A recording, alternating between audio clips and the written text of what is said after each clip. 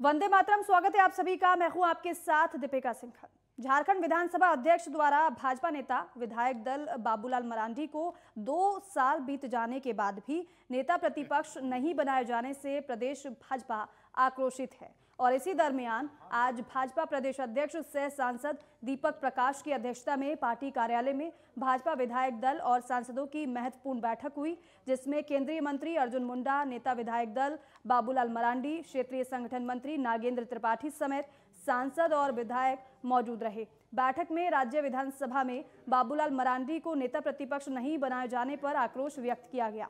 बैठक के बाद पार्टी प्रदेश अध्यक्ष, सह सांसद दीपक प्रकाश के नेतृत्व में एक प्रतिनिधि मंडल ने राजभवन जाकर राज्यपाल रमेश बैस से मुलाकात की और उसी संबंध में राज्यपाल को ज्ञापन भी सौंपा।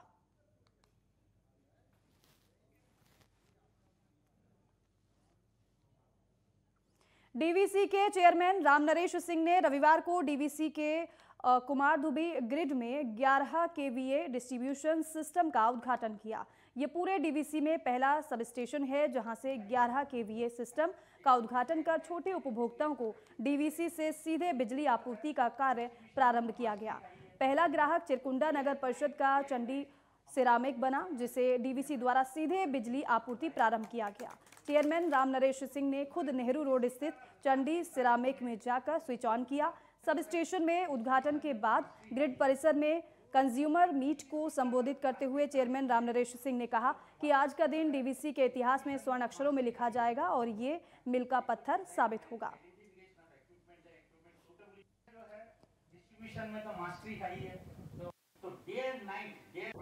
कंज्यूमर्स लोगों ने जो हमारे कमांड एरिया में हैं, उन लोगों के अनुरोध पर कि उनको 11 के में सप्लाई चाहिए।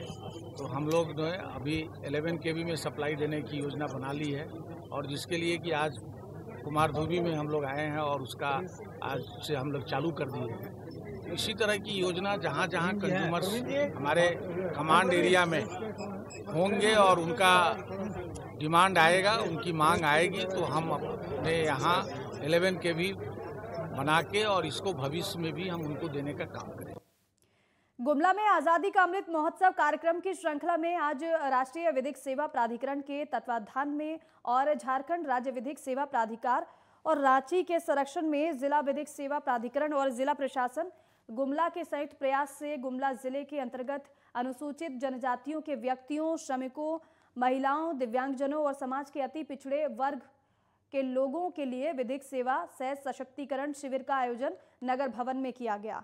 आपको बता दें कि शिविर का शुभारंभ प्रभारी प्रधान जिला और सत्र न्यायाधीश सुभाष जिला और अपर सत्र न्यायाधीश द्वितीय डीसी अवस्थी, अध्यक्ष bar association Gumla Nandlal, DALSA सचिव आनंदा सिंह समेत मंचासीन अतिथियों की तरफ़ से संयुक्त रूप से दीप प्रज्वलित कर कार्यक्रम की शुरुआत की गई। का प्रथा यहाँ पर बहुत ही प्रचलित है। और चूँकि मैं बसिया अनुमंडल में हूँ वहाँ पर पिछले साल कामदारा प्रखंड में नवाटोली में एक बहुत ही दर्दनाक घटना हुई थी। डाइन बिसाही बोल करके एक पूरे परिवार के लोगों की हत्या कर दी गई थी। तो सचमुच इस तरह की समस्या हमारे क्षेत्र में बहुत ही प्रचलित है। तो ये दूर कैसे हो? ये दूर तभी होगा जब लोग जागरूक होंगे। गाँव में, मंडल कारागार में, रिमांड होम स्कूल में, आदि में, नालसा द्वारा जो भी स्कीमें चलाई जा रही हैं उसका संचालन पूरे अच्छे तरीके से किया जा रहा है। अभी पिछले महीने में डी में मोबाइल वैन के माध्यम से पूरे ज़िले में जागरूकता शिविर का संचालन किया गया।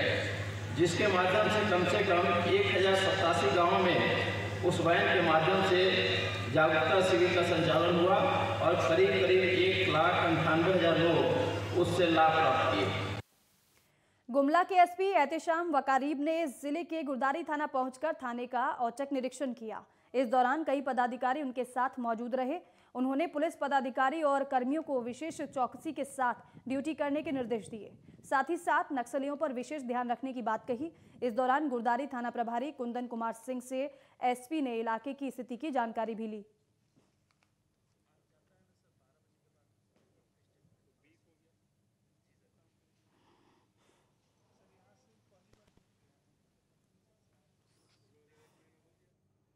और वहीं गुमला पुलिस ने गोपनीय सूचना के आधार पर गुरदारी थाना क्षेत्र से माओवादी नक्सलियों द्वारा छिपकर रखे गए और छिपाकर रखे गए तीन राइफल के साथ ही भारी मात्रा में ज़िंदा कारतूस भी बरामद की गई हैं। ज़िले के एसपी एहतेशाम वकारीब ने ये बताया है इस पर कि लातेहार में पकड़ा गया भाकपा माओवादी नक्सली संगठन का जोनल कमांडर सुदर्शन भुइया ने अपनी गिरफ्तारी के बाद जानकारी दी थी कि गुमला के गुरदारी थाना क्षेत्र में कुछ हथियार और गोलियाँ छिपाकर रखी गई हैं।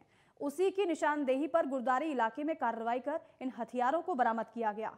बता दें कि पुलिस ने, पुलिस के इस मिशन में सीआरपीएफ के अधिकारी भी शामिल रहे।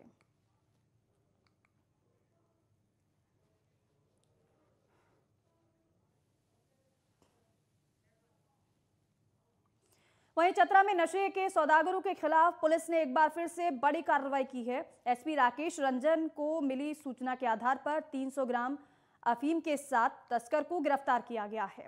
हालाँकि डीएसपी मुख्यालय केदारनाथ राम के नेतृत्व में गठित स्पेशल टीम ने राजपुर थाना क्षेत्र के चिरीदिरी बेलाटांड इलाके से विकास कुमार दांगी नाम के तस्कर को गिरफ़्तार करने में सफलता हासिल की है। गिरफ़्तार तस्कर के पास से तस्करी में इस्तेमाल बाइक और एक फ़ोन भी बरामद हुआ है।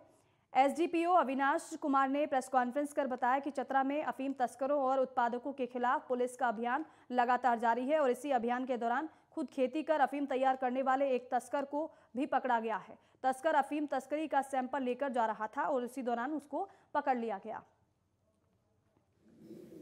पुलिस अधीक्षक चतरा महोदय को सूचना मिल रही थी कि राजपुर थाना क्षेत्र के चिरदिरी के रहने वाले हैं विकास कुमार दांगी। उनके द्वारा अफीम का अवैध कारोबार किया जा रहा है। सूचना को सत्यापित करते हुए पुलिस उपाधीक्षक मुख्यालय श्री केदार राम के नेतृत्व में एक टीम बनाई गई। टीम ने मनगढ़ा के जंगल के स्थित एक सड़क पे विकास कुमार दांगी को 300 ग्राम गीला अफीम के साथ गिरफ़्तार किया गया है। साथ में एक मोटरसाइकिल, बजाज डिस्कवर का, जिनका नंबर है J thirteen B one double zero two, एवं एक वीवो कंपनी का मोबाइल भी साथ में जब्त किया गया धाराओं में एफ़ दर्ज कर लिया गया है, और मदद कार्रवाई की जा रही है।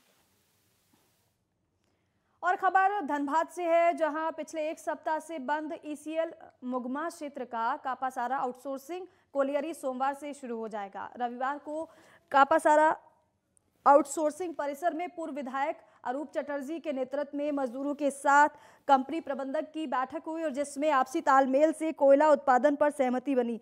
सभी मजदूरों ने ईमानदारी और निष्ठापूर्वक नियमों के तहत काम करने का संकल्प लिया। आउटसोर्सिंग संचालक देवाशीष मोदी ने बकाया तीन महीने के वेतन में एक महीने का वेतन सात दिनों के अंदर भुगतान करने का आश्वासन दिया है। बाकी वेतन को भी जल्द देने की बात कही।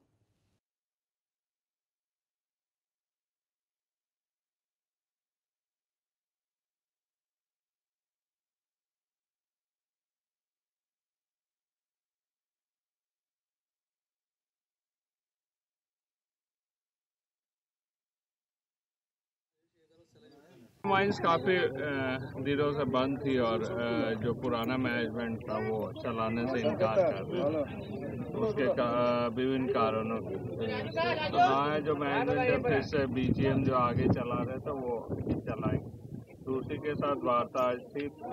तीन महीना का जो सैलरी बाकी है, उसमें से एक महीने का सैलरी इसी हफ़्ता पेमेंट हो जाएगा। बाकी दो महीना का हम लोग कोशिश करेंगे जो जल्द से जल्द पेमेंट करवा दें लेकिन सबसे बड़ी बात है, जो माइंस जो इतने दिन से बंद थे, दोबारा बी के नेतृत्व में स्टार्ट हो गई।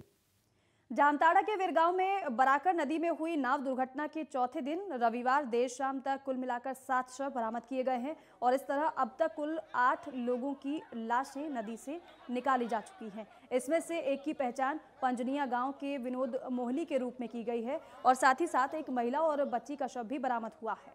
शनिवार को एक महिला का शव मिला था। अन्य की खोज में और जामताड़ा और धनबाद निरसा के पदाधिकारी अभी लगे हुए हैं।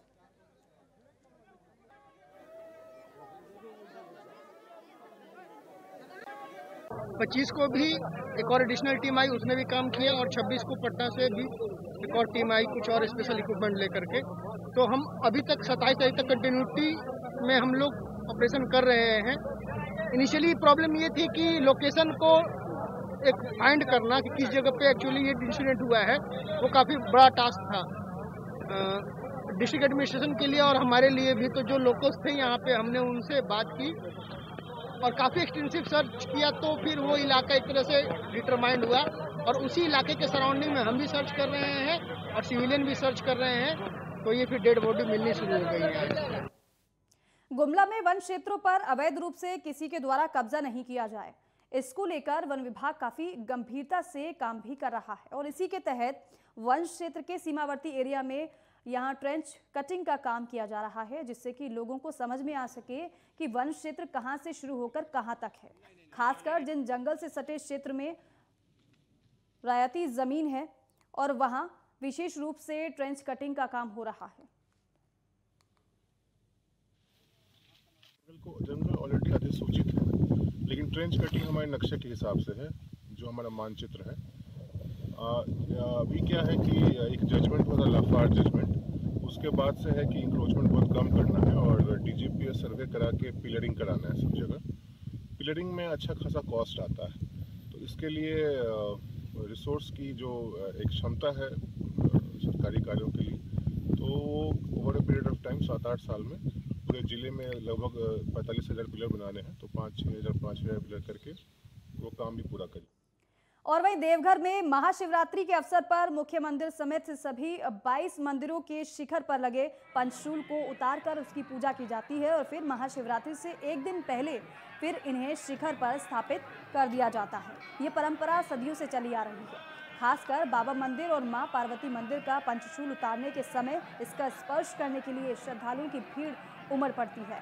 स्थानीय पुरोहित के मुताबिक बाबा वैद्यनाथ और माँ पार्वती मंदिर के शिखर से पंचशूल उतारा जाता है और दूसरे दिन पूरे वैदिक रीति रिवाज और मंत्रोच्चारण के साथ इन पंचशूलों की विधिवत पूजा की जाती है और तब इन्हें शिखर पर स्थापित किया जाता है। डीसी मंजूनाथ भजंत्री ने ये बताया कि महाशिवरात्रि के दिन दो लाख से अधिक श्रद्धालुओं के पहुँचने की संभावना है और इनके लिए बेहतर सुविधाएँ उपलब्ध कराने के लिए सभी संबंधित विभाग को निर्देश दिए जा चुके हैं।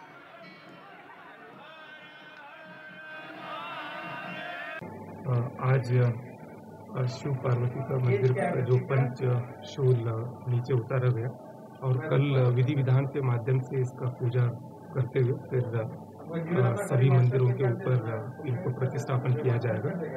और इस साल महाशिवरात्रि के एक मार्च को जो शुरू होगा उसके लिए हम लोगों ने पक्का इंतज़ाम किया खासकर सब अतिरिक्त सुरक्षा बलों को भी मंगवाया गया है।